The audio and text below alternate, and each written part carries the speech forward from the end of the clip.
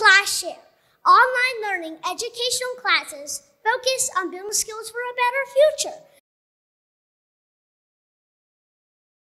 My goal is to be a great actor and get 10 million subscribers on my YouTube channel.